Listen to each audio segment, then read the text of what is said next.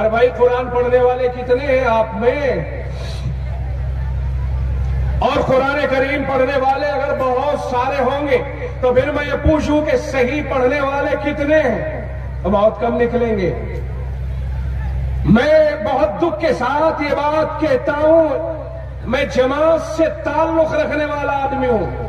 جماعت سے میری محبت وابستگی اور ہمارے جامعہ عربیہ خادم الاسلام ہاپڑ میں پہلے سے ہی ہمارے اکابر نے تبلیغی جماعت کا سلسلہ جاری کر رکھا ہے اور ہر ہفتے تین چار جماعتیں وہاں سے نکلتی ہیں چوبیس گھنٹے کے لیے۔ اس لیے کہ بچوں کے پاس اس سے زیادہ ٹائم تو ہوتا نہیں۔ جو میں رات کو پڑھ کر کے اپنا سبق اثر کی نماز کے بعد نکلے اور شام کو سورج چھپنے سے پہلے پہلے واپس لوٹ آئے تاکہ اگلے دن سنیچر کی تیاری شروع کر لے۔ تو چوبیس گھنٹے کی جماعت ہمارے مدرسے سے پہلے سے ہی سلسلہ ہے۔ چار یا تین جماعتیں مسلسل جاری ہیں، شہر میں بھی جاتی ہیں، اطراف میں بھی جاتی ہیں۔ تو بڑا دکھ ہوتا ہے مجھے یہ بات کہہ رہا ہوں اور دکھ کے ساتھ کہہ رہا ہوں کہ ہم نے آپس میں آپس میں ایک دراڑ سی پیدا کر لی ہے اور محسوس یہ کرنے لگے ہیں کہ صاحب ہم حق پر ہیں اور فلاں غلط راہ پر چل رہا ہے۔ فلاں حق پر ہے تو فلاں غلط راہ پر چل رہا ہے۔ نہیں بھائی، اللہ نے یہ دین محمد الرسول اللہ کے ذریعے سے دیا ہے۔ جس شکل میں بھی ہو سکے امت کو پہنچا دو۔ جو جس شکل میں کام کر رہا ہے، وہ سب پر احسان کر رہا ہے۔ بات سمجھ میں نہیں آئی؟ جس شکل میں بھی جو دین کا کام کر رہا ہے، کوئی کسی کے اوپر تنقید نہ کرے۔ اخلاص کے ساتھ آگے بڑھتا رہے۔ مولوی لوگ مدرسوں میں پڑھاتے رہے محنت سے اور اللہ سے یہ دعا کرتے رہے مولا کریم جتنا مجھ سے ہو سکا، میں نے بچوں کو پڑھا دیا۔ اللہ تو قبول فرما۔ اور یہ تبلیغی احباب عوام میں اس دعوت و تبلیغ کے کام کو لے کے چلتے رہے۔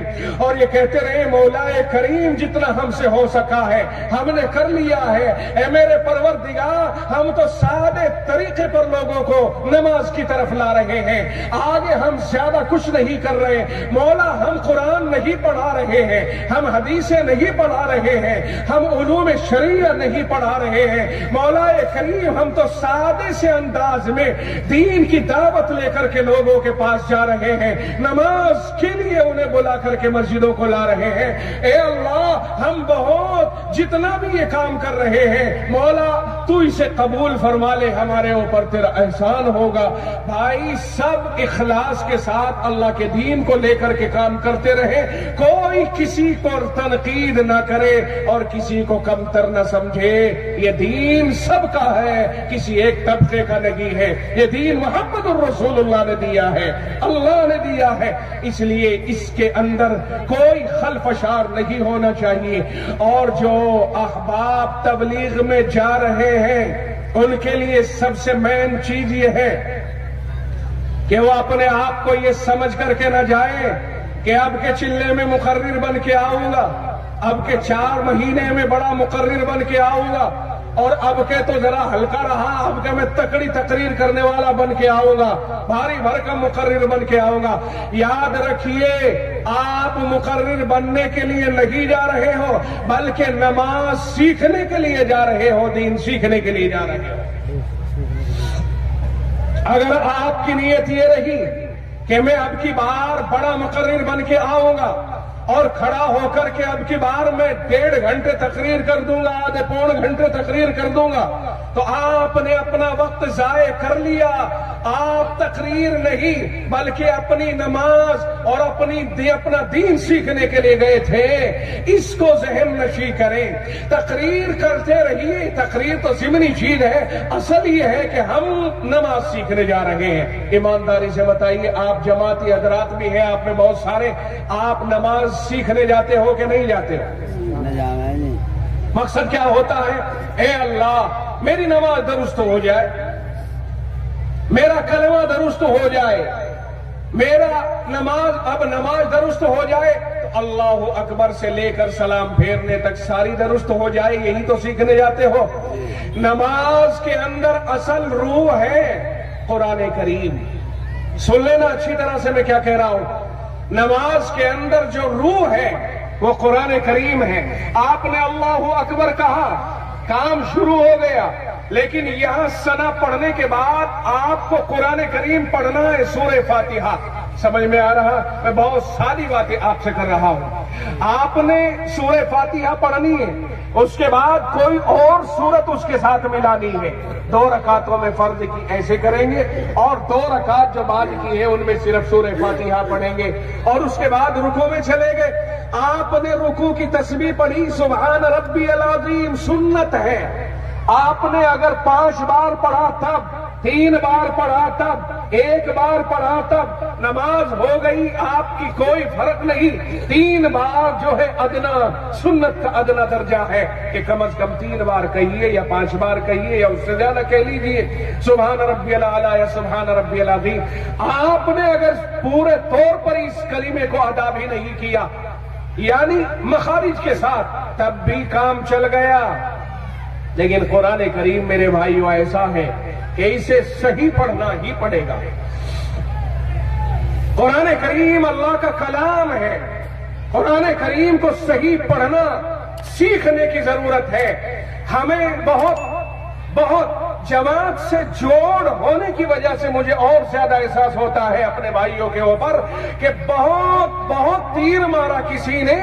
تو ایک، دو ایک دو صورتیں سیکھ لی پورا چلا گزر جاتا ہے، چار مہینے گزر جاتے ہیں، سمجھ میں نہیں آتا ہے کہ وہ سیکھتے کیا ہے قرآن کریم کو باقاعدہ مضبوطی کے ساتھ سیکھنا بے حد ضروری ہے۔ اگر آپ کے پاس، او بھائی، جس جذبے سے میں بول رہا ہوں، اسی جذبے کے ساتھ میری بات کو سمجھنے کی کوشش کریں۔ میں اپنے بھائیوں کو یہ مشورہ دیتا ہوں تبلیغی احباب کو کہ جب جب آپ جماعت میں جائیں قرآن کریم کو صحیح سیکھنے پہ زیادہ توجہ دیں اگر آپ کے پاس امیر اچھا ہے، جو قرآن اچھا پڑھنا جانتا ہے، تو اچھی طرح وہ سکھا دے گا۔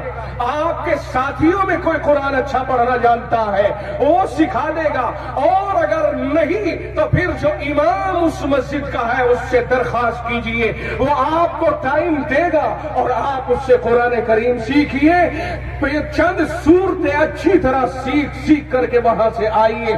اس لیے جو احباب جماعت کی طرف رخ کریں، وہ قرآن کریم پر سب سے زیادہ توجہ دیں۔ قرآن کریم اللہ کا کلام ہے۔ بات سمجھ میں آئی کہ نہیں آئی بھائی؟ جہاں اور ساری چیزیں سیکھتے ہیں، وہیں قرآن کریم کی صورتوں کو کم از کم علم ترا کیفا سے جو آگے آگے کی دس صورتیں ہیں ان کو سیکھنے کی پوری پوری کوشش کریں جو لوگ، باقی تو یہ ہے کہ اپنے محلے کے امام سے بھی یہ خدمت لی جا سکتی ہے۔ مغرب کے بعد یہ جو بھی آپ کا ٹائم ہے، امام صاحب سے بات کرو۔ اللہ کے نبی علیہ السلام نے فرمایا، قل ہو اللہ تعدل سلوس القرآن۔ فرمایا، قل ہو اللہ کی صورت۔ کل اللہ احد کی صورت، چھوٹی سی صورت ہے، فضیلت کے اعتبار سے تہائی قرآن کے برابر ہے۔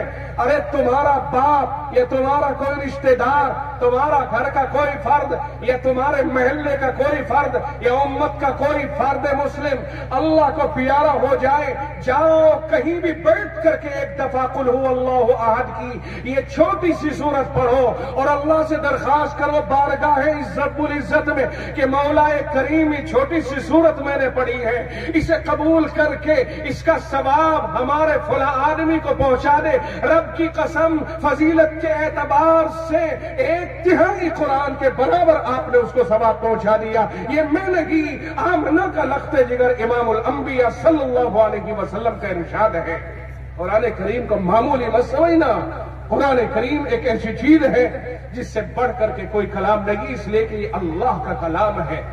تو بھائی، تبلیغی احباب بھی اس کو اور جو مدارس کے احباب ہیں، بچوں کو پڑھانے والے، کسی کے کہنے سے کبھی بھی بچے کو غلط قرآن نہ پڑھانا۔ بہت سے بچے ایسے ہوتے ہیں جن کے ماں باپ انہیں اسکول میں بھی بھیجتے ہیں۔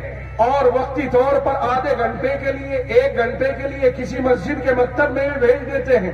اور استاد پر دباؤ بناتے ہیں، استاد جی جلدی جلدی پورا کرا دو۔ اس لیے کہ اسکول میں ہمیں اسے آگے کا کورس کرانا ہے۔ وہ کہتے ہیں جی جلدی کراؤں گا تو صحیح نہیں پڑھ پائے گا، یاد نہیں رکھ پائے گا۔ میں تھوڑا تھوڑا پڑھا رہا ہوں تاکہ مضبوط ہو جائے۔ انہیں کہا جی ایک سال کا ٹائم جلدی سے اس میں نکال دو، جیسا بھی ہے۔ آپ پیچھے کا مت دیکھو، آگے آگے کو نکالتے چلے جائیے۔ اگر قرآن کو اتنا ہلکا لے رہے ہو، تو برائے مہربانی استاد محترم معذرت خائی کر لے ان سے کہ میں تمہارے کہنے سے غلط قرآن نہیں پڑھا سکتا ہوں۔ جناب رسول اللہ صلی اللہ علیہ وسلم نے فرمایا، لا طاعت لمخلوق فی معصیت الخالق، اللہ کی نافرمانی جہاں ہو رہی ہو، وہاں کسی کی بات ماننا جائز نہیں ہے۔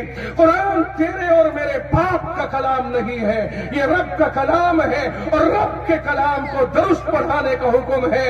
غلط پڑھانے کے لیے اگر کوئی کسی کی مانتا ہے، استاد جی بھی اللہ کے یہاں پکڑا جائے گا اور چودھری صاحب بھی پکڑا جائے گا۔